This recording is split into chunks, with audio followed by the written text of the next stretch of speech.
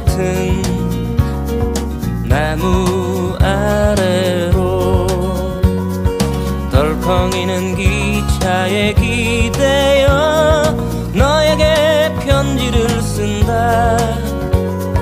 꿈에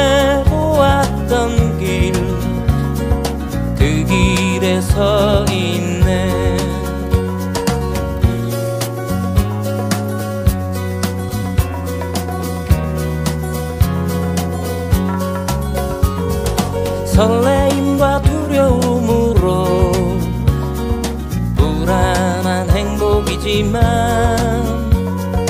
우리가 느끼며 바라볼 하늘과 사람들 힘겨운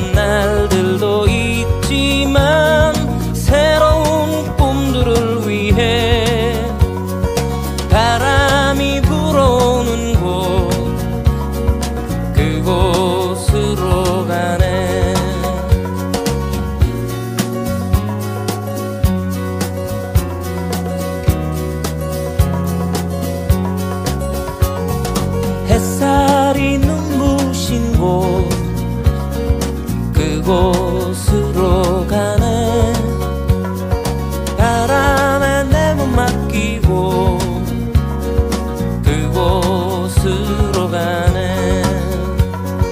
줄렁이는 파도에 흔들려도 수평선을 바라보며 햇살이 웃고 있는 곳.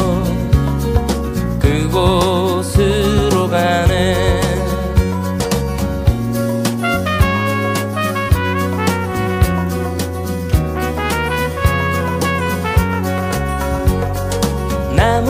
나뭇잎이 손짓하는 곳.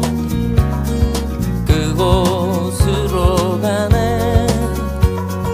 휘파람 불며 걷다가 너를 생각해.